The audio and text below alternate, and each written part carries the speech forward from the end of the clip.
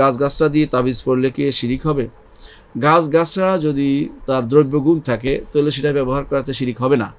গাছ গাছরা যে কোনো জিনিসে দ্রব্যগুণ যদি প্রমাণিত হয়, সেটা ব্যবহার করলে শিরিক হবে না। ধরেন এমন কোনো গাছ যেটা আপনার হাত গায়ে রাখলে আপনাকে পিঁপড়া কামড় দিবে না বা কোনো পোকা কামড় দিবে না, এটা স্পষ্ট দেখা যাচ্ছে। কারণ এই গাছের কাছে কোনো পোকামাকড় আসে না, এরকম কোনো প্রমাণিত সত্য হয়ে গেলে সেটা ব্যবহার করলে শিরিক হবে না। কারণ এটা হলো বৈধ মাধ্যম গ্রহণ।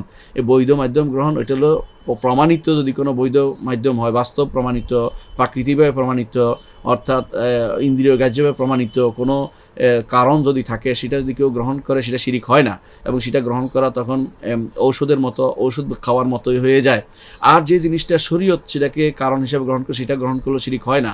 কিন্তু আপনি জানেন না, কেউ একটা গাছে পড়ে এসে ফুঁ দিল, আপনাকে বললেন গায়ে লাগায় রাখতে হবে, অথবা কোনো একটা কড়ি দিয়ে ফুঁ দিল, গায়ে লাগায় রাখতে হবে, অথবা কোনো একটা সাল দিয়ে দিল, আপনার গায়ে বেঁধে রাখতে হবে। এটার কোনো কারণ স্পষ্ট হয়নি, বাস্তবসম্মত প্রমাণিত হয়নি যে এর কোনো উপকারিতা রয়েছে, দ্রব্যগুণ রয়েছে, এমন কোনো প্রমাণ আপনি আপনার কাছে নাই, সেটা ব্যবহার করলে আপনার সেটা শির্ক হবে এবং শিরকে আসগর থেকে শুরু করে শিরকে আকবর পর্যন্ত উভয়টাই হতে পারে।